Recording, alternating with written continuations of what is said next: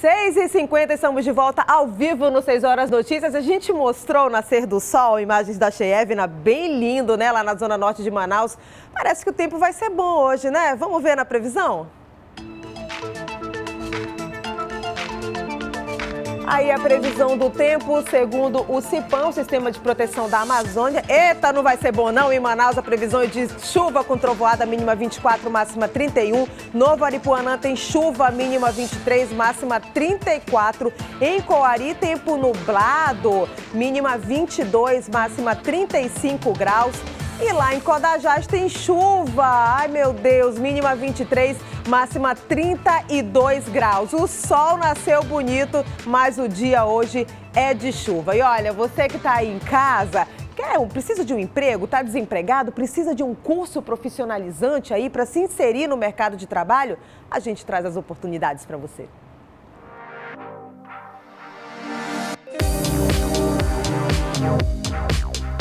Centro de Educação Tecnológica do Amazonas, o CETAM, está com 1.700 vagas para cursos de qualificação profissional. Aos candidatos que desejam se inscrever, é necessário entrar no site da instituição e preencher o formulário de forma correta e também completa. Os candidatos, para efetivar a inscrição, é necessário enviar também toda a documentação necessária para cada um dos oito cursos disponíveis. No caso, RG, CPF, comprovante de escolaridade e também a declaração ao qual o curso que deseja concorrer à vaga. Vale ressaltar que as vagas estão disponíveis aos cursos de técnica de atendimento ao cliente, relações interpessoais no trabalho, noções de gestão para empreendedores, noções de segurança na web, Excel com ênfase em gráficos, técnicas de organização em eventos, técnicas de produção textual e também formação de tutoria.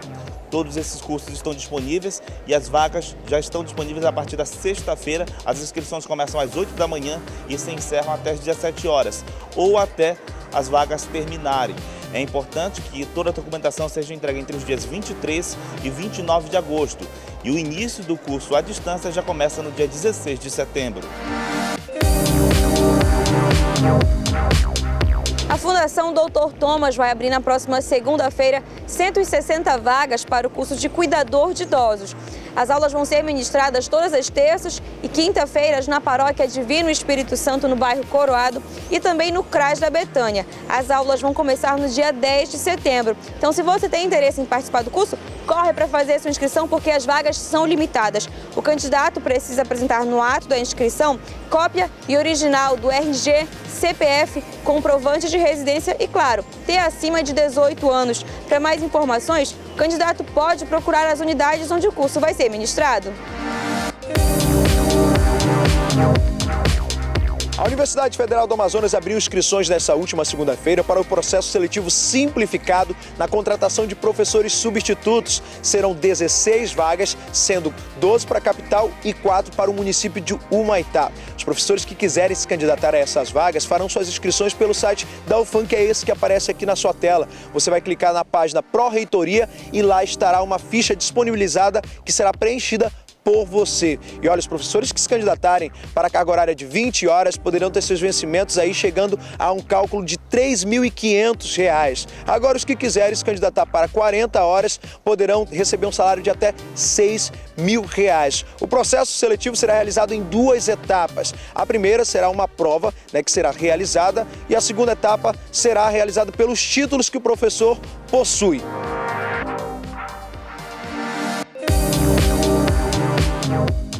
E olha, tem notícia boa para a polícia. Ontem à noite o governador anunciou a promoção para os policiais aqui no Amazonas. A Bárbara Mitoso me traz ao vivo aí os detalhes sobre essa promoção. Bárbara.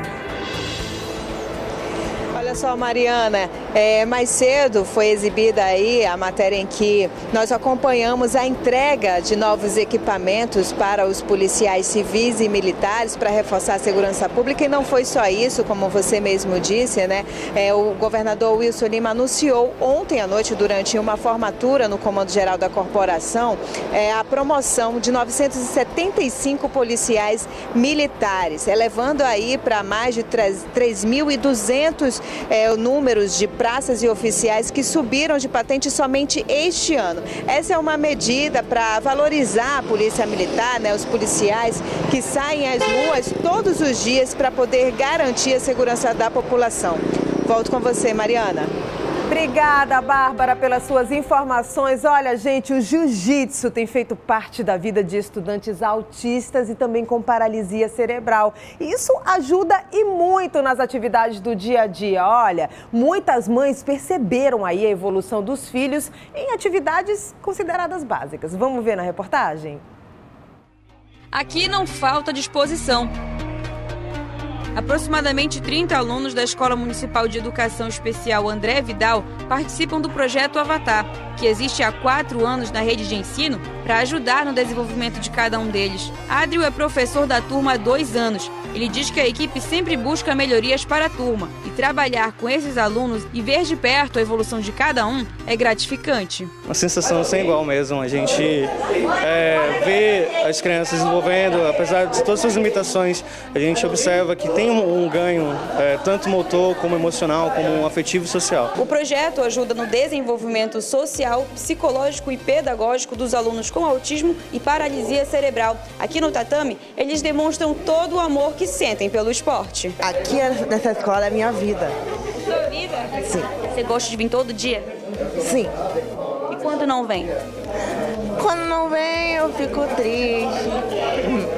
Você ama o jiu-jitsu? Sim.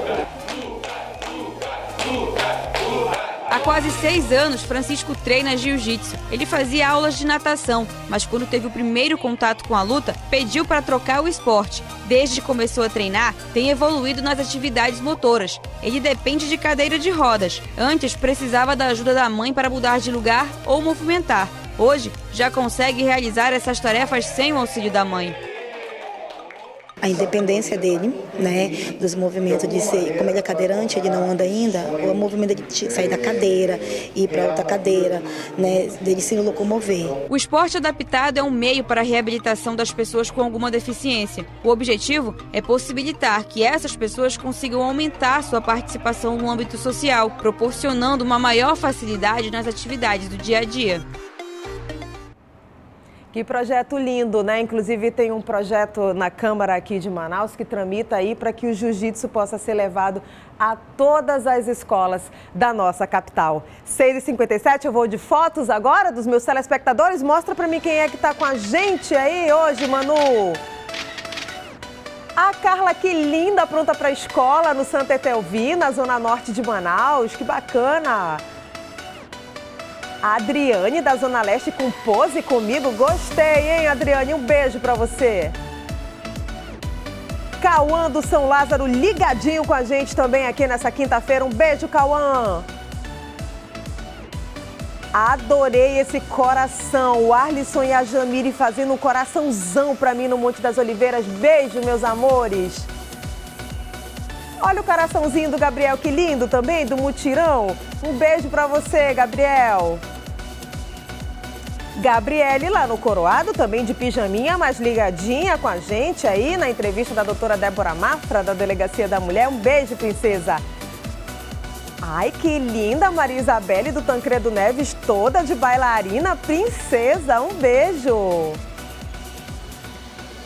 E a Pietra, lá da Avenida Silves, é no bairro Cachoeirinha, né? Com Luiz Rodrigues de fundo dando as oportunidades lá na Zona Sul, aqui da nossa capital. Que bacana, gente! Muito obrigada. Eu vou me despedindo de vocês. Amanhã tem muito mais 6 horas notícias ao vivo, das 6 às 7. A gente está ao vivo trazendo as informações para vocês, mostrando também as fotos, conhecendo os meus telespectadores. Amanhã a gente está de volta. Agora eu vou com imagens da Avenida de Jalma Batista. Mostra aí ao vivo, olha aí como é que está o trânsito na Avenida de Jalma Batista nos dois sentidos. Ainda não está muito complicado, dá para sair de casa agora para não pegar muito trânsito. Amanhã a gente se encontra, viu, gente? Ao vivo, às seis da manhã eu vou estar aqui te esperando. Um beijo e até amanhã.